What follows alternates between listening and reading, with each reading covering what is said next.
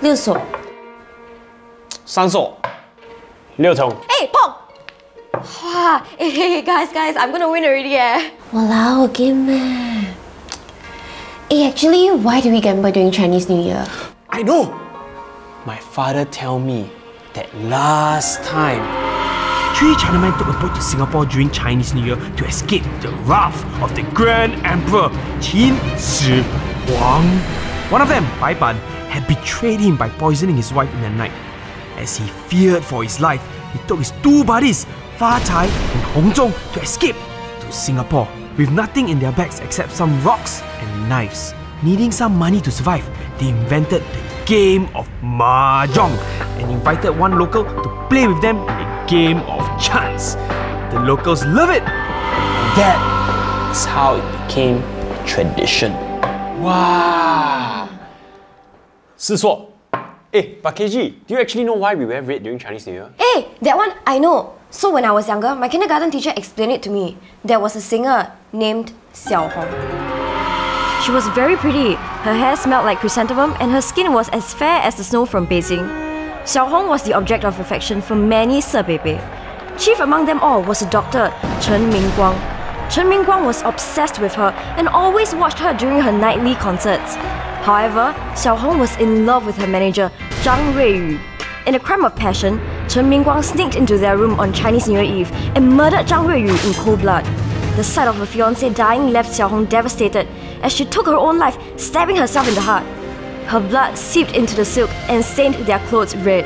As a tribute to Xiao Hong, her fans wore red the next day to remember her by, and it became a tradition till this day.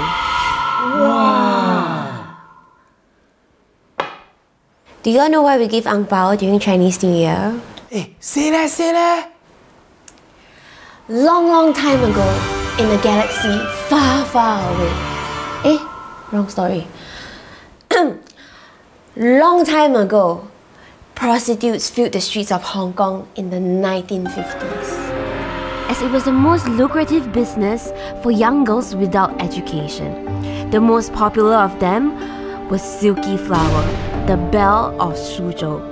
Silky Flower served the respectable gentlemen of Hong Kong, including the governor, the chief of police, and even the gang leaders. She sat in a position of power, learning government secrets, police raids, and even the songs the gangs used to sing. However, Suki Flower had one secret. She would keep all her money in little red packets stuffed under her pillow. One night, while servicing the gang leader, Ong Lai Sha, her pillow got knocked over, exposing the hidden red packets. Ong Lai Sha was a savage and tried to steal the money, but Suki Flower was smart. She used his belt to whip him and tied him up. She then called the children from the street to hit Ong Lai Sha and rewarded them with a red packet each. And that is why we give out ang baos. You know, Chinese New Year is so interesting. You go visiting, eat oranges. It's amazing. Sansuo. Yeah, but do y'all actually know why we go and Bai Nian? No. So long time ago, there was this monster called Nian. Nian would eat people, and everybody... Bokok lah! Yeah, where got such thing as monsters? Yeah, Nian, what a stupid name! It's true, my Chinese teacher tell me one. Who? 三娘来培养培养。哇！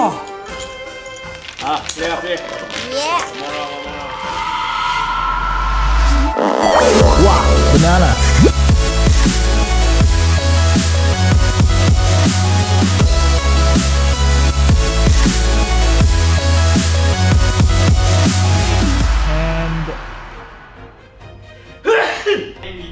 哈哈哈哈哈！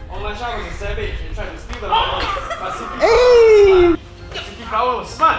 She used his belt to whip him and tie him to a bedpost. cut. Okay, Ong Lai Sha and rewarded them with the red packet each. This is why we give out ang pao. Took her own life, stabbing herself in her heart. Her blood seeped into the stained their clothes red. It's a tribute to Hey, hey, not enough. It was the most lucrative business for young girls without education.